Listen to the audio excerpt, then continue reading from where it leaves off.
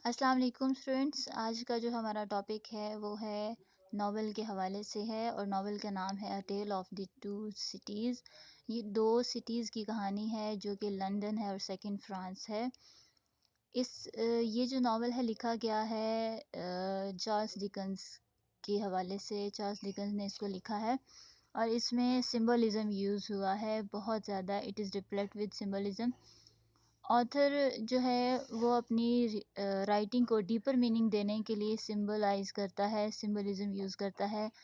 चीज़ों को सिंबलाइज कर रहा होता है, उसको हिडन मीनिंग दे रहा होता है, जो कि सरफेस लेवल पर नहीं होती, बल्कि डीपर लेवल पर होती हैं।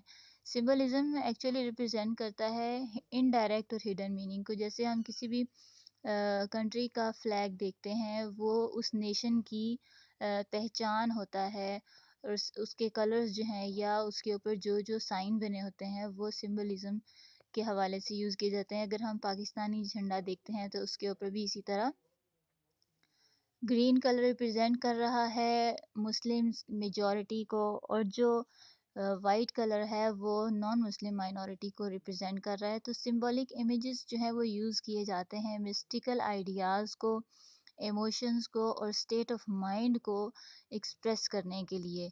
जो हिडन मीनिंग होते हैं, उनको इनडायरेक्टली आपको दिखाने के लिए, आपको बताने के लिए वो यूज़ करता है। और ये एक इसेंशियल एलिमेंट है। कोई भी वर्क है स्पेशली नॉवेल्स जो हैं, वो सिंबलिज्म से रिफ्लेक्ट होते हैं फुल हुए हुए होते हैं।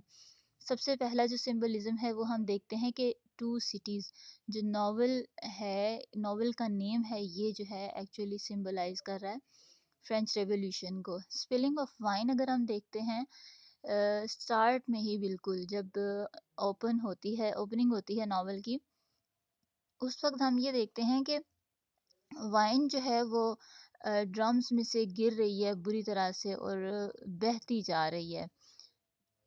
ये रिप्रेजेंट करता है ब्लड शेड को। रेड कलर ऑफ़ वाइन भी जो है वो ब्लड का कलर है। ब्लड शेड की रिप्रेजेंटेशन है। एक्सट्रीम स्टेट ऑफ़ पॉवर्टी को रिप्रेजेंट किया गया है और हंगर को प्रेजेंट किया गया लोग किस पुअर कंडीशन में थे। सेकंड जो हमारा सिंबल है वो है मिल और ग्राइंड स्टोन मिल के बारे में बार बार ये बताया गया कि ग्राइंडिंग एंड रीग्राइंडिंग। कैसे कि जो यंग लोग हैं वो ग्रोइंग ओल्ड बचपन से जो है लोग जा रहे हैं बुढ़ापे की तरफ़। और डिस्ट्रक्शन का सिंबल है वायलेंस है और ब्लड शेड का रिप्रेजेंट कर रहा है इसको। इकोइंग फुट स्टेप नेक्स्ट हमारा सिंबल है जो कि जो लूसी मनिट है, वो अपनी फैमिली के साथ जेल की जो एरिया है, वहाँ से जब गुजर रही होती है और फुट स्टेप्स की आवाज़ें आ रही होती हैं तो ये रिप्रेजेंट कर रहा है। Crowd will come into life of all तो इनकी जो फैमिली है लूसी मनिट डॉक्टर मैनेट की जो फैमिली है, वो एक्चुअली बहुत ज़्यादा सफरिंग करती है क्योंकि ये अरिस्टोक्रेटिक फैमिली है और अरिस्टोक्रेटिक फैमिली के अगेंस्ट जो है पुअर लोगों का स्टैंड था। पुअर लोग स्टैंड कर चुके, ले चुके थे और वो जो है, इनके ख़िलाफ़ जो है, आवाज़ उठा रहे थे।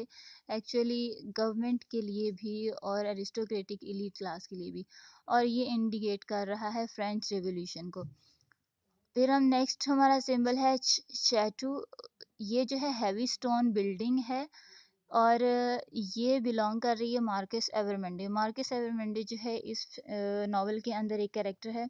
हैवी स्टोन ब्लस्ट्रेड है ब्लस्ट्रेड कहते हैं बालस्ट्रेड या ब्लस्ट्रेड इसको हम कटहरा इसको कहते हैं, या एक, जो हम कह सकते हैं कि स्टेयर्स लेडर्स के साइड पर जो रेलिंग होती है, उसे कहते हैं, वो हैवी स्टोन की बनी हुई होती है। ये भी सिंबल है हार्ड हार्ड हार्टेडनेस की। स्टोन अर्न्स जो हैं, आप ये कह सकते हैं कि जो फ्लावर्स के गुलदान हैं। फिर फ्लावर्स भी पत्थर के बने हुए हैं, कोई अट्रैक्शन नहीं है, उनके अंदर फ्रेशनेस नहीं है, ये पत्थर के बने हुए हैं। Faces symbol of hard heartedness वहाँ पे कुछ फेसेस बने हुए स्टेचूज टाइप पड़े हुए हैं, फिर हेड्स ऑफ़ लाइंस लाइंस के हेड पत्थर के हैं, कि लवसनेस ऑफ़ एवर मंडे फैमिली को रिप्रेजेंट कर रहे हैं। Marquis Evremonde himself was a hard hearted person बहुत ही सख्त नेचर का आदमी था कि इसका जो भतीजा था या भांजा था, जिस, जो इसको अंकल कहता है बार बार जिसका नाम था चार्ल्स डार्से। उसने जो है वो छोड़ दिया था अपनी फैमिली को, इवन उस, अपना फैमिली नेम भी, अपनी जो कंट्री बर्थ था, उसको भी उसने छोड़ दिया था। और जब वो जा रहा था तो उसने उससे रोका नहीं। नेक्स्ट हम देखते हैं बेस्टील को। टेरनी hundreds of prisoners languishing for years of years years of years जो है, काफ़ी सालों साल दर साल जो है लोग प्रिजन में पड़े और निगलेक्टेड थे फॉरगटन थे, जैसे हमने देखा डॉक्टर मैनेट जो है वो बहुत ही बुरी कंडीशन में थे यंग एज में। वो उनके ऊपर कोई इल्ज़ाम लगा था और उनको गलती से इस जेल में फेंक दिया गया था और वो किसी को उनके बारे में पता नहीं था और फिर लूसी ने स्ट्रगल करके अपने फादर को ढूंढा था। फिर मैडम डिफार्ज जो है, ये एक सिंबल है हेटर्ड और एविल का रिवेंजफुल का। बदले लेती है लोगों से। ब्लड थर्स्टी एटीट्यूड है इस लेडी का। आप इसका स्पीकिंग स्टाइल अगर देखें तो उसमें भी ना इसकी एक हेटर्ड शो होती है। फिर निटिंग कर रही होती है ये बैठकर। फिर रिवोल्यूशनरी रूथलेसनेस है इसके अंदर। रिवोल्यूशनरी एटीट्यूड है इसका। लोगों को उकसाती है। दूसरों के ख़िलाफ़ अपने हस्बैंड को भी इसने साथ मिलाया होता है। फिर निटिंग क्या कर रही होती है वो?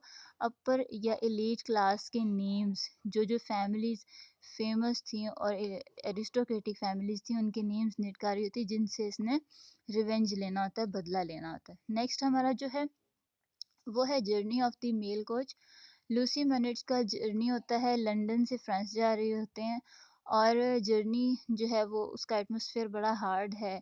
हार्ड टाइम जो है हॉर्सेस का शो करता है कि लोग भी सफ़र करेंगे। हार्ड हार्ड जो है सफ़र सफरिंग होगी लोगों की।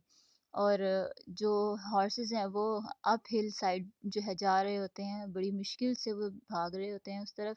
फिर मड हम देखते हैं इसमें कि मड में बहुत ज़्यादा मुश्किल से चल रहे होते हैं हॉर्सेस तो ये सारी चीज़ें सफरिंग्स को रिप्रेजेंट कर रहे हैं। फिर मिल को हमने डिस्कस कर लिया। फेस कलर जो है, लोगों का, कुछ लोगों के पेल कलर्स हैं, कुछ लोगों के रेड कलर्स हैं फेसेस के। तो ये कलर्स भी जो है रिप्रेजेंट कर रहे हैं हार्डनेस को और सफरिंग को।